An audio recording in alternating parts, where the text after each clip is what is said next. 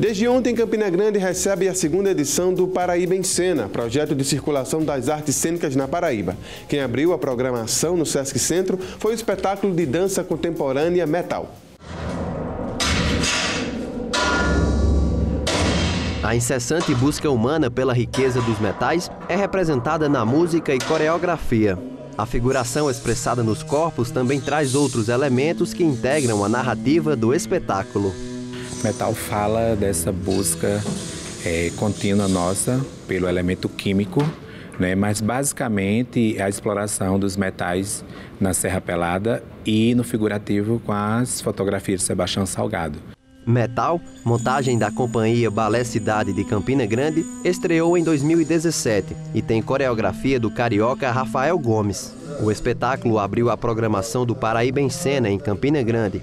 O projeto é promovido pelo Sesc Paraíba. Ele, na verdade, começou no litoral. É, litoral é em João Pessoa, passou por Guarabira, aí vai inicia hoje em Campina Grande, é, depois vai para Patos, é, Souza Cajazeira. A primeira edição do Paraíba em Cena aconteceu no ano passado. Em 2019, 12 espetáculos de teatro, dança e circo circulam por seis cidades do estado, com apresentações, realizações de oficinas e conversações com o público. Nessa segunda edição, o projeto acontece em duas etapas. É um projeto importante, né? Importante porque ele trata de circulação de espetáculos. É um projeto que é, começou o ano passado e esse ano estamos na segunda edição.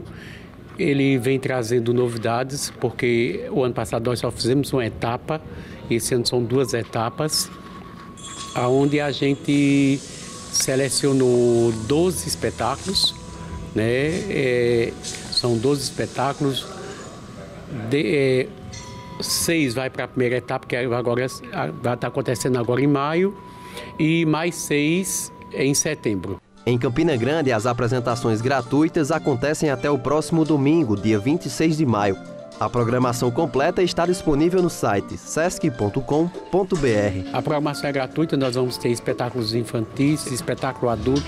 Geralmente aqui no Cine Teatro do Sesc é às 20 horas. É, os teatros os grupos é, é, que trabalham com espetáculos infantis é, a partir das 15 horas.